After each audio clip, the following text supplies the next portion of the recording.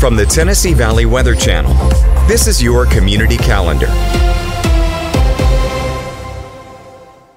Happy Friday to you. I'm Kelli Rosson, and you are watching Kelli's Community Calendar. We have a lot of events to get to to put you in the holiday spirit this weekend. So let's go ahead and get started with Saturday. Operation Elf is happening at Pulaski Parks and Rec from 9 a.m. until 2 p.m. It is free to get in. There will be vendors, games, and treats out there. Also on Saturday, it is a Dickens Christmas, y'all, at Tuscumbia Historic District happening from 10 a.m. until 4 p.m. There will be live music, a petting zoo, and all kinds of winter activities out there. The Farmers Market Holiday Special is happening at Riverwalk Park in Columbia from 10 a.m. until 2 p.m. Live music, fresh produce, and vendors will all be set up for you to enjoy. The Sip and Cider Festival is happening in downtown Athens from 4 to 8 p.m. Be sure to head out to vote for your favorite cider. There is a drive-through nativity at Mars Hill United Methodist Church in Lawrenceburg. That is from 5 p.m. until 8 p.m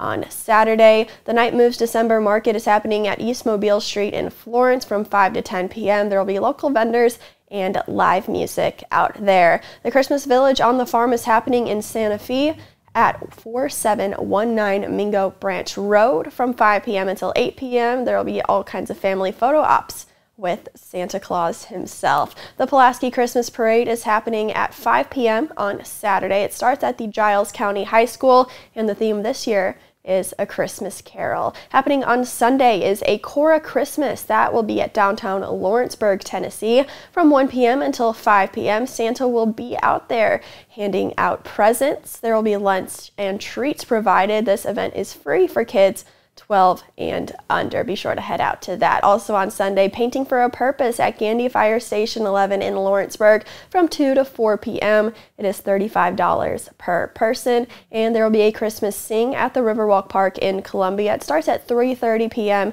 on a Sunday. Enjoy coffee, cookies, cocoa, carols, as well as Christ. If you have any events happening in your area, be sure to send me an email, kelli at tnvalleyweather.com.